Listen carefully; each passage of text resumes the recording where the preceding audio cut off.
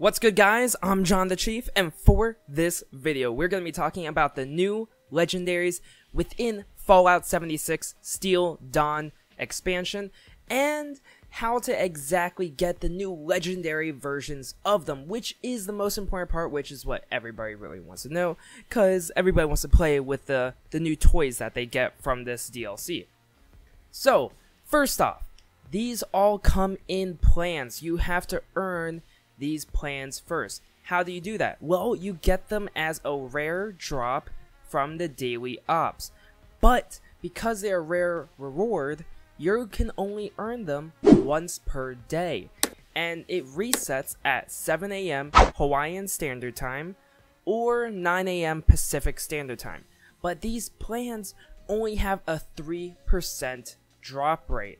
So it is going to take a long time in order to actually get all the pieces of the Brotherhood recon armor, Hellfire missile launcher, plasma cutter, crusader pistol, all of these drop in the same manner from the daily ops rewards.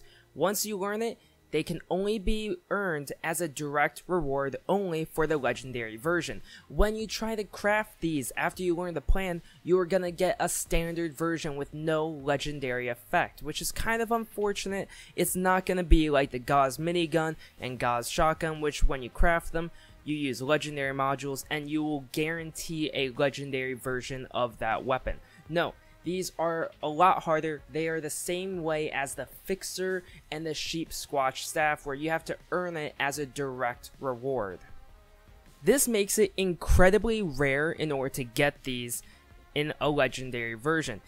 And in addition to the actual way you have to earn the plan, has caused a lot of uproar within the community, which led to some frustration for yours truly also. It's like saying that in order to get the new weapons, you have to do the encrypted event and have that small chance of getting the fixer plan.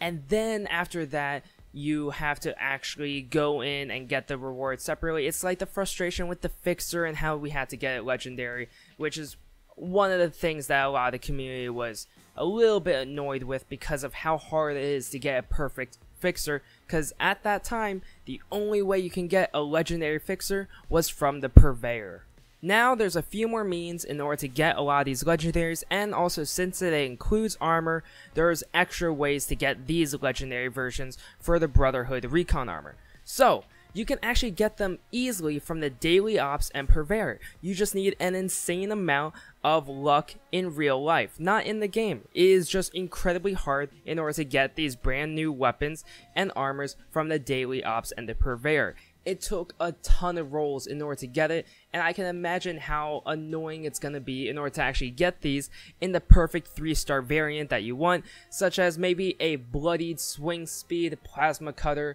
or you really want a 2 shot fire rate Hellfire missile launcher. It's going to be really hard to get these. And if you're trying to go for unyielding Sentinels or unyielding Cavalier build, for these Brotherhood Recon armor pieces, it's going to take forever in order to actually get these. I was fortunate enough where my very first Brotherhood Recon armor that dropped Legendary was actually unyielding, but it only gave like a weight reduction for its third effect, so it's not exactly what I wanted, but I can't really complain too much because I at least got unyielding.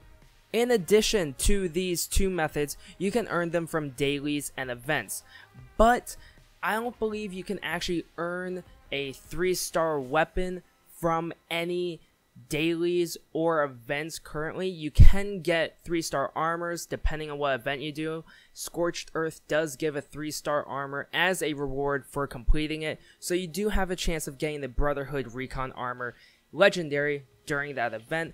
But other than that, there's really no ways to farm these legendaries. Lot of stuck behind daily capstones for the purveyor because you need legendary script, and then daily ops, which you only can really get a lot of good rewards once a day. You can farm it repeatedly to get that one legendary drop every single time you finish it, but the amount of ammo that you're going to be consuming, in addition to having to repair armors and the time it takes and the few rewards that you will get from repeating that daily op is gonna be a little bit annoying and probably not worth it in the end. It's gonna be really painstakingly long. So, it's a little bit frustrating with that, but In addition, these new legendary weapons cannot be dropped, and that means that you cannot trade them or transfer it to your friends. So, I recommend if you do get one of these plans for these weapons and it's not compatible with the build on the character that you have, don't even bother learning it because all it does is take away a potential legendary drop from your loot pool that could have been something that you want. Like, suppose that you do not use melee weapons at all, but you do use explosives and pistols. There's no reason to learn the plasma cutter plan just because it is going to take a chance from earning the other rewards that you would rather have, such as a fixer or a crusader pistol or a hellfire missile launcher when you complete daily ops and you turn in things to events, purveyor, dailies, etc. So, that's why I recommend. It's a little bit hard out here to get the new legendary versions, but I'm trying to really get some nice god rolls to show you guys. Anyways, hope all of you guys enjoyed the video. Make sure to like, comment, and subscribe if you enjoyed it, and have a good day.